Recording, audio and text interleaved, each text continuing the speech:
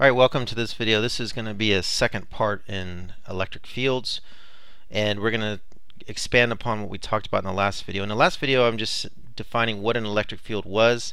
An electric field is the force that a um, one coulomb test charge would experience in a region of space. And so it's basically it's it's force per unit charge here. That's the definition of it.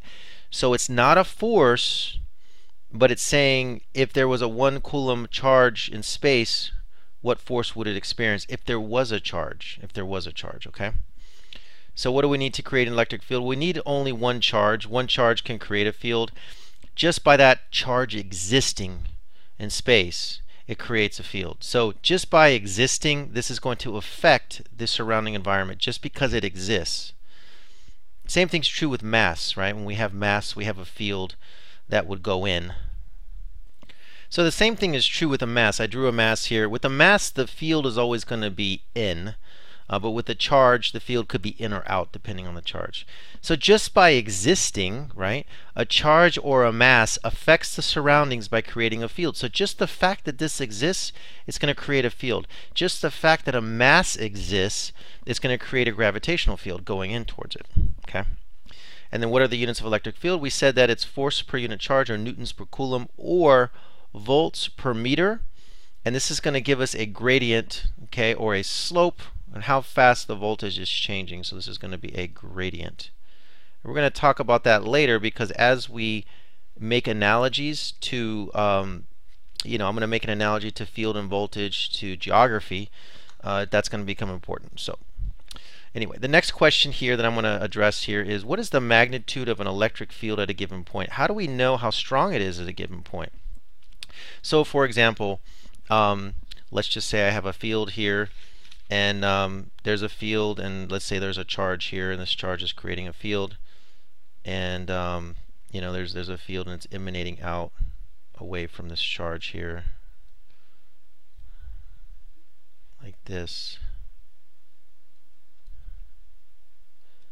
and I'm going to explain to you how to define these directions in a minute but I'm just going to go into the concept of a magnitude first here. So let's just say that I would say okay right there how strong is the field? Right?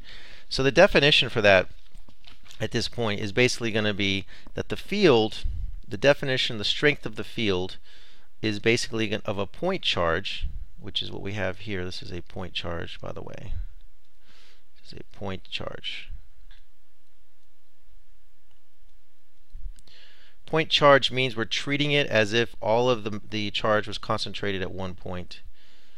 Um, so if we're far away from this object, if we're outside of the surface, it doesn't matter if it's a sphere or not, if it's if it's an infinitely small or if it's just a solid sphere. As long as we're outside, it's going to behave as if it's concentrated in the middle, and that's a uniform density of the object.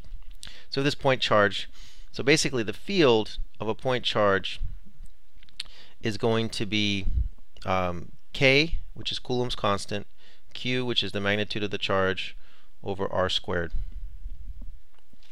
And that basically, what does that mean? Well, this is a constant. This is a constant here.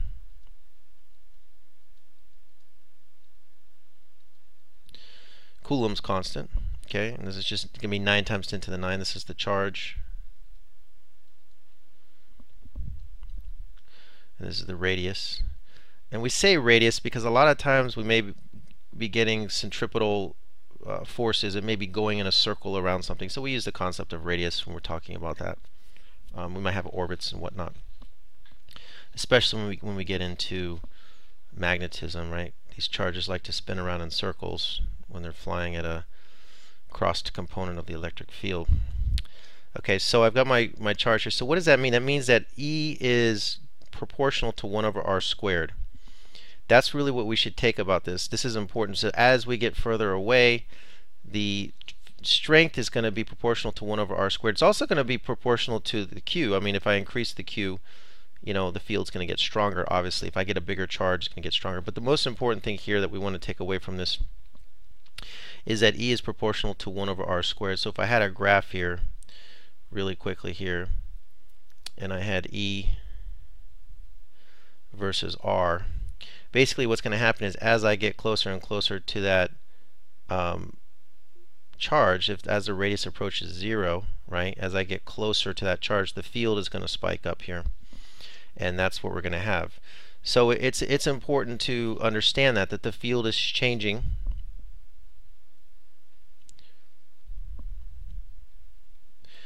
uh, depending upon how far away you are. Okay, so this is kind of an important thing here. It's not constant when we're talking about a point charge. It's changing. As I get away, it's changing. And it's changing very rapidly. So since since we ha since we know that this guy here, this field here, okay, is not constant as a function of radius, right? That eliminates a lot of options that we have in terms of tools that we've used up to this point. In other words, we cannot use kinematics. Therefore, we have no kinematics. We cannot use kinematics with this. And I'm going to explain later. There are some small exceptions we can make if we're talking about a very small region of space where we approximate it to be constant. Um, like gravitational field on Earth, we say it's 9.8 and we use it as a constant, but we're talking about a very small region.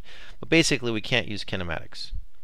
So we're going to have to reach into our bag of tricks and use other ways. If we're doing calculus, we can integrate things and you know figure out, uh, or we can use we can also use energy.